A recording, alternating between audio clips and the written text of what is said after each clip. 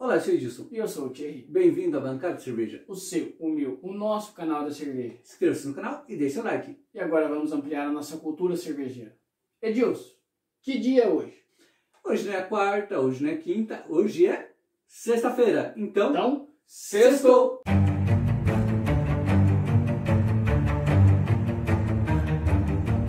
E no quadro Sextou de hoje vamos apresentar para vocês o estilo American Fruit Sour Ale.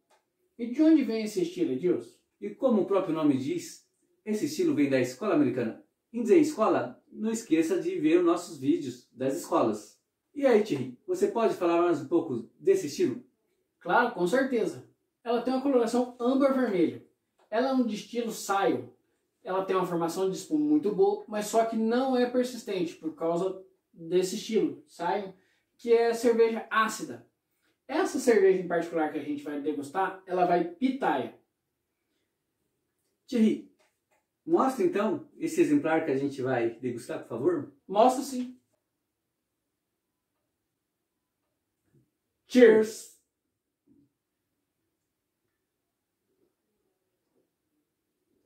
Pode me explicar um pouco mais sobre essa cerveja?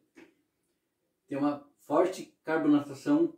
Você sente, é que vocês não viram, mas quando a gente coloca, ele faz um barulho que é particular. É um barulhinho. Parece um sorrisal. Nossa, parece. Então, É sal de fruta quando você põe Sal de fruta, lembra um sal de fruta que você coloca e dá aquela espumada? Nossa. Grande carbonatação, é, pitaia, maracujá. Olha essa coloração. Nossa. E não deixa nenhum colarinho, não deixa nenhum colarinho. Lembra até como se fosse um energético. Mas isso aqui, gente, ela não fica, não retém espuma por causa do, do estilo saio. É, ele tem acidez, é uma acidez muito alta essa cerveja. Essa cerveja tem uma acidez alta. Então, não deixa permanecer a espuma. Mas ela, ela é bem carbonatada. Bom, já que estamos falando sobre isso, vamos falar da ficha técnica, Thierry? Vamos sim. Deixa eu só dar mais um gole.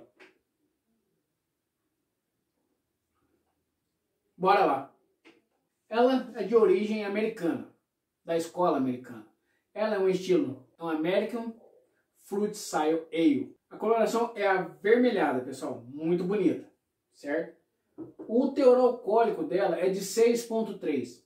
A harmonização para esse tipo de cerveja, no caso para essa aqui, vai cair muito bem frutos do mar, peixe, carne de uma bistequinha de porco cai muito bem. Também um peixe ou molho de suco de maracujá vai cair muito bem com essa cerveja por causa da pitaia, por causa da origem da cerveja. Cerveja muito boa.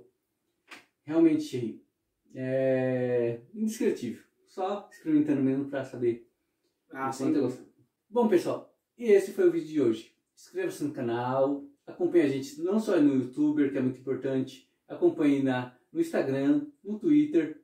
É, claro, inscreva-se no canal, comente, compartilhe. E vamos deixar aqui, aqui embaixo, dois vídeos para vocês escolherem. E Sextou!